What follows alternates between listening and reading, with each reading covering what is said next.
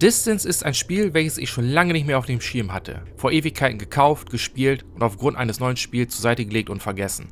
Auf dieses Spiel bin ich auch nur gestoßen, als ich mal wieder meine Steam-Bibliothek nach VR-Spielen durchforstete und mir klar wurde, wie viele Spiele ich kaum gespielt habe oder sogar noch nie angefasst habe. Welche aber keine Perlen sind oder Perlen, die ich noch gar nicht entdeckt habe. Direkt vorweg möchte ich betonen, dass dies meine persönliche Meinung ist und selbstverständlich nicht mit eurer übereinstimmen muss. Aber Distance gab mir die Idee zu einer möglichen neuen Videoreihe, welches genau diese Perlen oder vergessenen Edelsteine behandeln soll. Deswegen begrüße ich euch zu meiner neuen Reihe und sage Grüße und willkommen, Wurmhoshis, zu meiner ersten Folge von Hoshi 82's Forgotten VR Gems.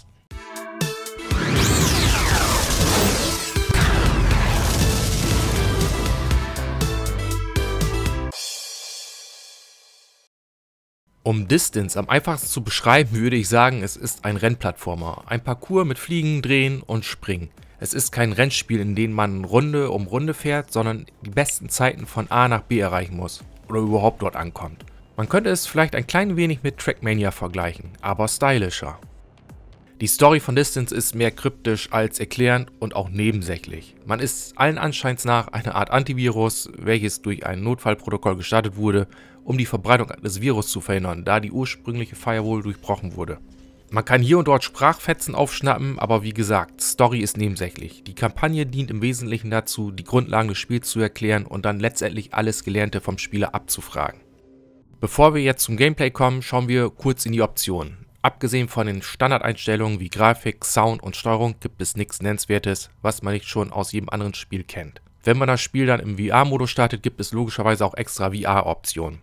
Diese sind auch nichts Neues und lassen Dinge einstellen wie das Super Sampling, Kamera wackeln, oder ob die Kamera etwas nachjustiert. Wenn man zum Beispiel Abhänge entlang fährt und man so angenehmer die Strecke vorausplanen kann, um unnötig den Kopf zu verdrehen. Es gibt auch noch die Möglichkeit, das Ganze via Third Person zu spielen, aber darauf komme ich später. Distance wird traditionell mit dem Gamepad oder der Tastatur gespielt und steuert sich wie die gängigen Arcade Racer. Gas, Bremsen, Lenken, alles bekannt.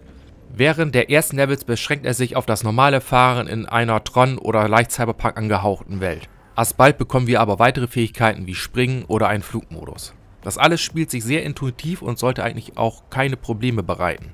Hin und wieder kann es aber vorkommen, dass man den Streckenverlauf falsch einschätzt und schon gerne mal in den Abgrund fällt oder gegen die Wand knallt. Das ist aber kein Ding, da man direkt am letzten Checkpoint weitermachen kann. Es gibt keine Leben oder ein Game-Over-Screen, jede Strecke ist wie ein Time-Attack, wo es auf die beste Zeit ankommt. In der Kampagne ist die Streckenzeit aber größtenteils irrelevant.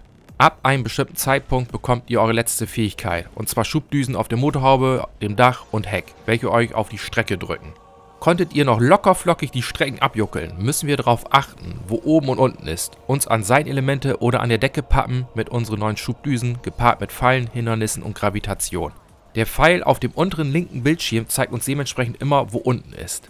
Hier zeigt Distance seinen ganzen Reiz. Die Seichenstrecken sind knackigen Hindernisparcours gewichen und ihr werdet oft genug das Zeitliche segnen oder euch zurücksetzen, um die Strecke überhaupt zu beenden. Es werden euch Laserstrahlen, Kreissägen und Wände um die Ohren gehauen, gepaart mit dem immer schwieriger werdenden Streckenverlauf, dass es schon den Schweiß auf die Stirn treiben kann. Aber hier heißt es üben, auswendig lernen und die beste Herangehensweise herausfinden.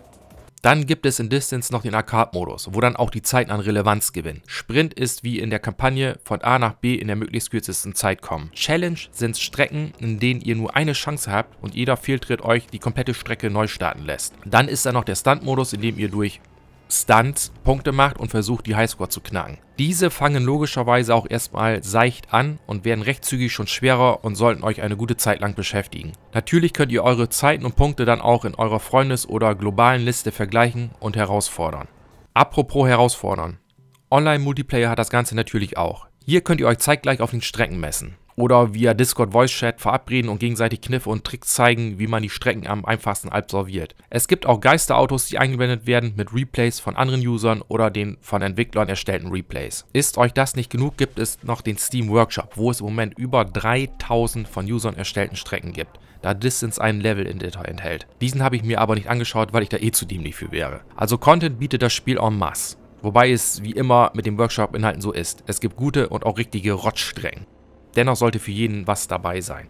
Kommen wir noch fix zu dem Third-Person-Modus. Dieser ist schon ganz nice, aber fühlt sich auch intensiver an, wenn es um Motion Sickness geht. Die Übersicht ist zwar weitaus größer, was Hindernisse angeht, und diese Miniatursicht ist auch nett, aber sobald ihr anfangt, Rollen hinzulegen, oben, unten, links, rechts auf der Strecke zu fahren, kann einem schon leicht übel werden. Oder stark. Für mich persönlich ein nettes Gimmick, aber nicht die Art und Weise, wie Distance im VR gespielt werden sollte. Und jetzt zum letzten Aspekt des Spiels, welches nicht viel mit VR zu tun hat, aber für mich ein weiteres kleines Highlight des Spiels ist. Die Musik. Der Soundtrack, so man elektronische Musik mag, ist einfach fantastisch. Passt super zum gesamten Spiel. Er ist sogar regelrecht mit dem Spiel bzw. der Kampagne verbunden, da er seicht anfängt und sich immer mehr steigert und passend zur jeweiligen Situation anpasst. Die Musik ist meiner Meinung nach auch nicht zu penetrant und direkt ins Gesicht, sondern einfach passend und stellenweise sogar zenhaft, als würde man dann auf die Strecke gleiten. All das begeistert mich an Distance. Der Artstyle, das Gameplay, die Menge an Content und die Musik. Deshalb beende ich dieses Video mit einigen Spieleindrücken und ich hoffe, ihr versteht nun, warum Distance für mich genau eines ist. Ein Forgotten VR Jam.